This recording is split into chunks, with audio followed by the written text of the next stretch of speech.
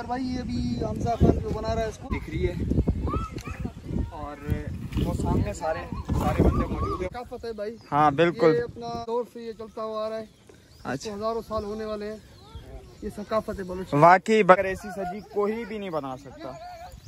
तो इसकी क्या खासियत है और कहाँ कैसे शुरू होती है? और क्या क्या घंटे या दो घंटे पहले जो है नमक में इसको मैरिनेट करना पड़ता है। तो गड्डी कबाब भी होता है नहीं नहीं इसके बनाने के तीन टाइप है ना? जी जी। एक होता है मसाले वाला। हाँ। वो बार भी है वो है। हम्म। इसको हम एक होते हैं नमकीन। जैसे जैसे जो सूरज है ना जैसे जैसे मना थमता जाएगा। अजानें हो गई हैं। अस्सलाम वालेकुम guys welcome back to another video this boy Umar Arai Eid का दूसरा दिन दिन है आप सबको मेरी तरफ़ से ईद मुबारक। हर साल की तरह इस साल भी हमारा प्लान है सजी का। जो मेरे पुराने पुराने सब्सक्राइबर हैं, वो जानते होंगे तो मेरी सजी कहाँ होती है। चले, आप नए हैं तो आपको बताते चलते हैं। साढ़े पाँच और मैं जाऊँगा फतेह आलों के गाँव। वहाँ पर पूरा प्लान है सजी का। मैं आपको एक एक चीज़ बताऊँगा कि सजी कैसे बनती है। तो मेरे साथ जुड़े रहिए। ये खूबसूरत बात मैं पहुँच चुका हूँ फतेह मरी आलों के गाँव में रईस मोबली मरी के विलेज में। जो हर साल जैसे हम करते हैं। मैं पहुँच चुका हूँ फतेह आलों के गाँव और ये आपको सामने सजी दिख रही है। और वो सामने सारे सारे बंदे मौजूद हैं। उनसे एक एक एक एक करके ईद मिलता है।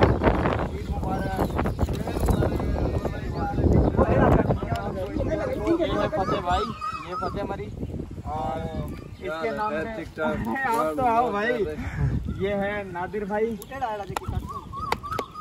ये नादिर भाई। और ये दिलबर भाई। ये है दिलबर भाई। और यहाँ पर सजी का पूरा प्लान बन रहा है। और मेहनत सबसे जो कर रहा है ना मेहनत वो कर रहा है सलाउल्ला भाई।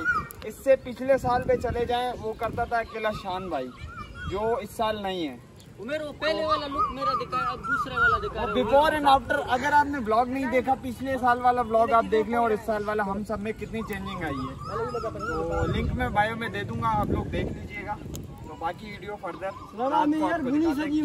सजी थोड़ी दिखाओ। बुनी में। हाँ। हिंदी का मैं असली प्राज मनाऊँगा नहीं। वैसे हम देखा जाए तो शान को बड़ा मिस कर रहे हैं। क्योंकि शान हर साल जो है ये मेहनत कर रहा है जितने दो सालों में जितने दफ़ा है ना, शान मेहनत करता है इस पर और शान को हम बड़ा मिस कर रहे हैं। यहाँ पर अभी मेहनत फतेह नादिर ने और फतेह ने की है। साथ में सनाउल्ला भाई सनाउल्ला भाई की मेहनत है। इसको तकरीबन तीन घंटे लगेंगे। जितने दो सालों में जितने दफ़ा हैं ना, शान मेहनत करता है इस पर हाँ बिल्कुल। अपना अमीर हमजा के दौर से ये चलता हुआ आ रहा है। अच्छा। हज़ारों साल होने वाले हैं। ये सकाफत है बलोच। वाकई बलोची सकावत है। ऐसी सजी कोई भी नहीं बना सकता। हमने भी सजियाँ खाई है मगर ऐसी सजी कोई भी नहीं बना सकता। पूछते हैं सनाउल्ला भाई से इसकी क्या खासियत है और कहाँ कैसे शुरू होती है और क्या क्या चीज़ें इसमें लगती हैं और इसका मरहला कैसे स्टार्ट होता है? जी सनाउल्ला भाई कैसे हैं? खैरियत से हैं? वालेकुम सलाम आप सुना क्या हाल है? अल्हम्दुलिल्लाह अल्हम्दुलिल्लाह। अल्हम्दुलिल्लाह शुक्र है। जी असल में क्या है जो इनको जो है ना समझो एक घंटे या दो घंटे पहले जो है नमक में इसको मैरिनेट करना पड़ता है। ठीक है? मेरी मैरिनेट करने के बाद जो है ना इनको जैसे जैसे आ, अपना मैथ मतलब तैयारी करने के बाद इनको जो है ना शाम को चार बजे या पाँच बजे इनको जो है इनका लकड़ी वगैरह सेट करना पड़ता है।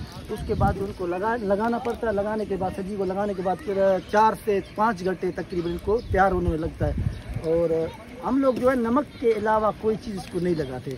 अगर कोई मसाला वगैरह लगाता है तो उसको जो है बारबेक्यू कहते हैं। ये बारबेक्यू नहीं है हमारा बलोची सक, अपना सकाफत है सजी है। इनको कदीम मना पुरानी रवायत है हमारा। जैसे कि दिलबर भाई ने बोला सदियों से सदियों से सदियों से हमारा रिवायत है ये रवाज भी है हम्म। ठीक है ना?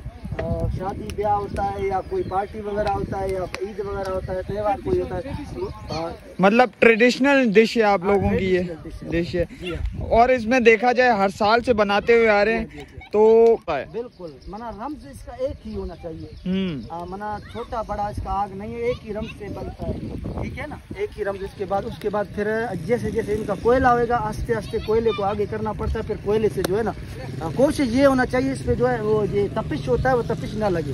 तपिश ना लगे सिर्फ़ मतलब इसको कोयले- कोयले के। तप जी हाँ जी। पके। लकड़ी का मकसद है मैं कोयला बनाना है। हाँ।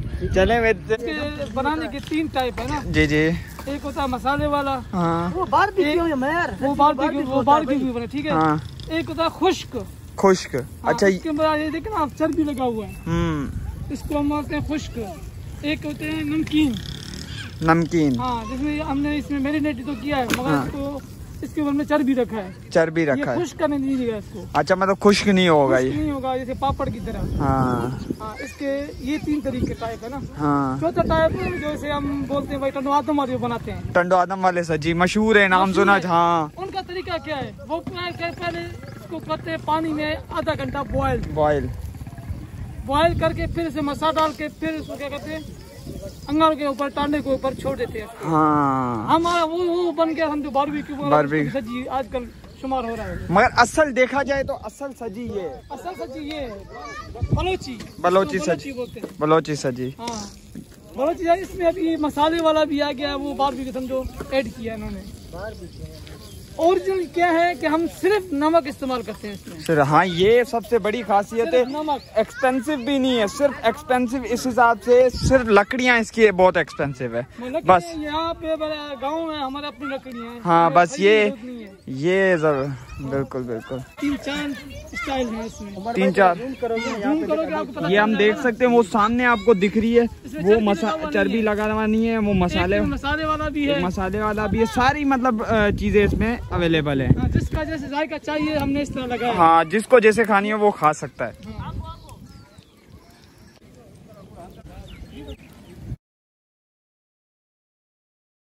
क्या बोल रहे थे?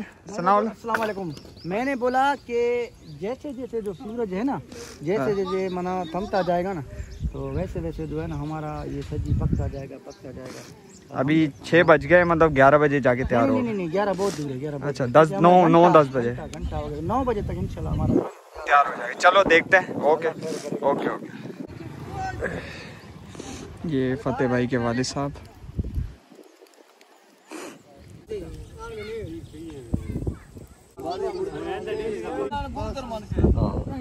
है उमर भाई ये भी हमजा खान जो बना रहा है इसको ना।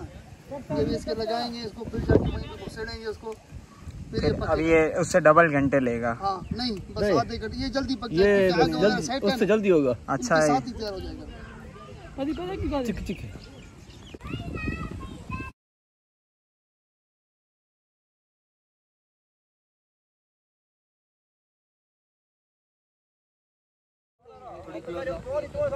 जैसे जैसे धूप खत्म होती जा रही है, वैसे वैसे यहाँ पर आबादी बढ़ती जा रही है।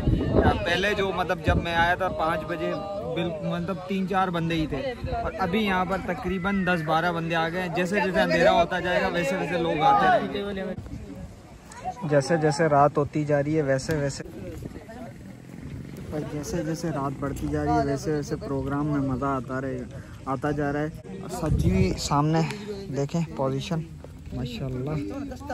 जब ये बनेगी तब ये जो दिखेगी ना और खाने में मज़ा देगी।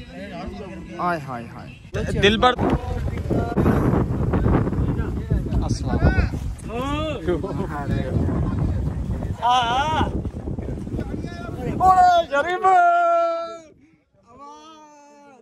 जाम याद किता असां तेकू याद किता असां हाय हाय आख हाय आख इडे इडे इडे इडे आख इडे इडे आख हाय। हाँ। ये सजी प्लान भी इडे ले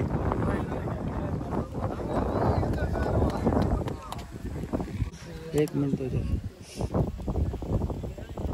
देखो ये तार ये जिसमें टार्च लग रही है ये। पूरा नौ बजे तक अभी बज रहे हैं आठ बज के इक्कीस मिनट। माशाल्लाह प्रॉपरली तकरीबन तैयार हो चुकी है। और स्टार्ट हुई थी चार बजे। जी हाँ जी हाँ। चार बजे स्टार्ट हुई थी और प्रॉपरली माशाल्लाह अभी थोड़ी बहुत ही कमी रहती है। नौ बजे तक प्रॉपरली तैयार हो जाएगी। नौ बजे तक फुल क्लियर है बस नौ बजे तक क्लियर है।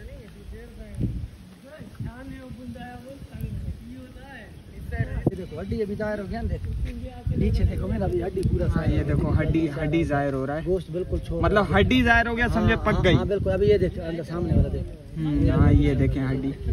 ये देखें हड्डी। अलग होगा और हड्डी अलग हड्डी अलग हो गई मतलब प्रॉपरली तैयार हो गई। इतनी तपिश है यहाँ पर स्टे भी नहीं कर सकते।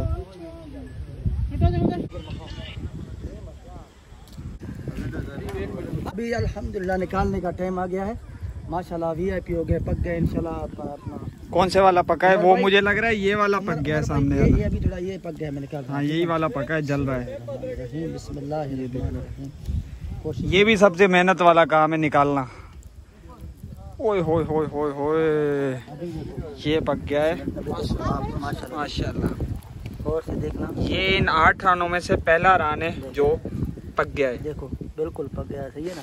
हड्डी मतलब ज़ाहिर हो रही है समझो पक गया निशानी दायर हड्डी दायर लगा बिल्कुल पक गया देखो गोश्त घर से दूर हो रहा है गोश्त ठीक है ना ये क्या मतलब आपका दिल कर रहा होगा वीडियो में से निकल के खाएँ इतनी लज्जत होती है इसमें टेस्टी टेस्टी बिल्कुल ये है असल काम है मेहनत बनाना एक्सपर्ट सजी एक्सपर्ट सुनाओला हमारी सज्जी एक्सपर्ट सनाउल्ला मरी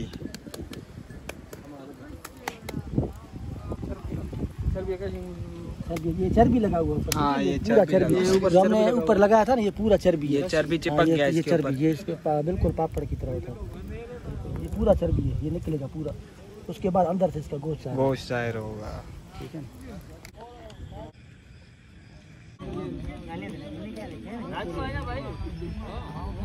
टार्च टार्च।